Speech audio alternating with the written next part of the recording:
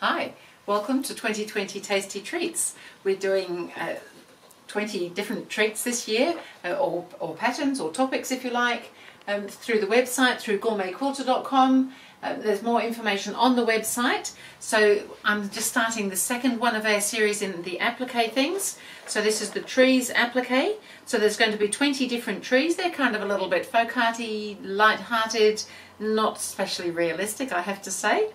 These are the kinds of trees that grow in my mind. So we're just going to be going through each applique and I'll just show you each applique. Much of it's kind of similar in the way that the process is done, but I just thought it's always nice to see people doing it.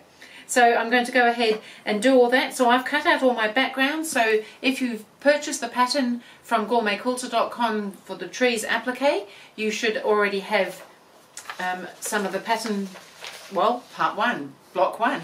We're doing a tree, so there's a small image of the finished one, but you do get this coloured image here um, with your part one so that you can see what I'm doing. And the colours may vary, of course. So I think it's kind of fun to do, so I'm suggesting that you trace onto a fusible web and then you iron to the back of your fabric and then cut your shapes out. So I've already gone ahead and done all that side of things ready for the applique and I've cut all my block sizes out, my backgrounds, they're going to be a variety of sizes. So they could be used for any number of things. They don't all have to go into the one project. You may not want a tree quilt. You might want a quilt that has all sorts of other things and a tree in it. So you can use a tree from here. So I'm using, when I'm doing free motion applique, so I'm doing uh, fused raw edge applique, I've set my sewing machine up to do the free motion sewing. So I've dropped the feed teeth, I've put a free motion foot on, and i am also going to use a stabilizer behind because when you do free motion it tends to want to sort of scrunch your fabric a little bit. So you can use you could use a starch perhaps but I suggest some sort of a stabilizer behind. I'm using a lightweight cotton batting because that works really well for me. It's just slightly larger than my block and then I'll be fusing onto that and stitching through the batting as well. And that will help it sit nicely with the free motion side of things. So I've gone ahead I've traced my shapes I've cut them out now I've just got to pull the paper off uh, the back of the fusible web and put them down. So the pieces will be numbered in some sort of an order. So starting with number one is because you don't necessarily have to have just the one down. You've got to position everything so that things will fit on your background. But one goes underneath number two and underneath number three if there's layers. So that's the reason for the numbering so that you know that things where things sit. Because we want to keep a little bit of an eye on perspective because you don't really want a tree trunk sat on top of the tree if it should be behind the tree. Those sorts of things. Or behind some of the leaves or whatever that is. So I'm just going to start peeling off. So now that because this is a fairly um, symmetrical tree that we're doing here I'm just going to finger press a center line on my background fabric so that I know more or less where the middle is and then I can start positioning my pieces on. So this is piece number one, the tree trunk. Um, the other thing I should mention too on these, even especially the little smaller blocks, is just to keep an eye on the fact that you're going to be losing a quarter of an inch all the way around. So you want to make sure that you've allowed for that to disappear if you're going to sew it into something else. So we've got a little tree trunk and then we've got some my trunks a little bit high already and come down a touch because the top of the tree was going to go off the top of the block.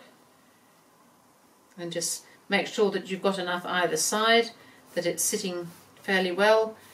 And now I have to say that tree trunks are not all central to their foliage. Some trees lean one way, maybe the wind's been blowing, who knows. And then there's these little uh, fun little triangle shapes just to give it a little bit of life this nice little tree. They, they could be flowers, it could be a blossom of some sort. And they're kind of fairly randomly placed on this tree. So I'm just going to position everything on here and then I'm going to iron them in place and then I'm going to go to the sewing machine and start doing some sewing on it. Could be better than that.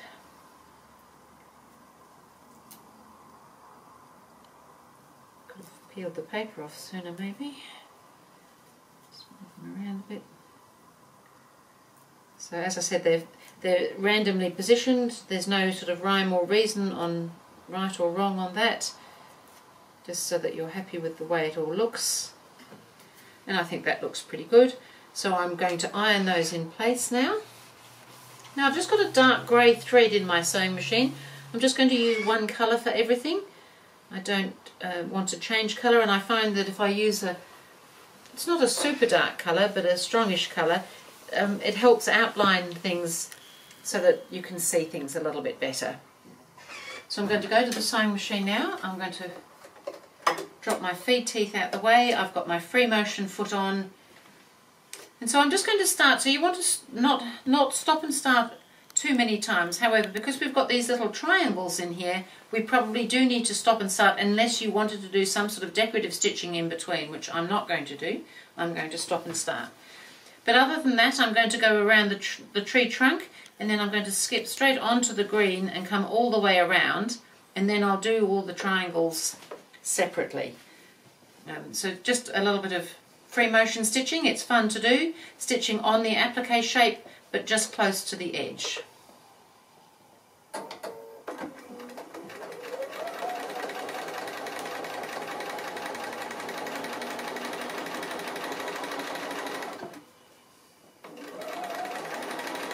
Really working with small bits, so I've just skipped onto the green.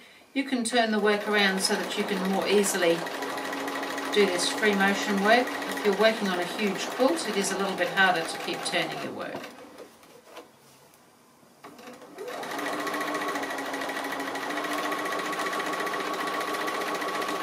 So I'm going to go ahead now and finish off my green and then I'll come on to the triangles.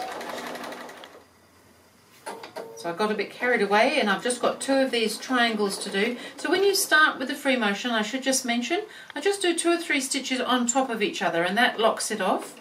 And then I can start moving the fabric forward and sideways in any direction I like. The stitching is going to be fairly small because you're concentrating and then again, just a couple of stitches on top of each other helps lock it off at the other end as well. And then I'm just going to go now, because I'm stopping and starting for each triangle, I'll just go on to the next one. So just lock off a little bit and then move around.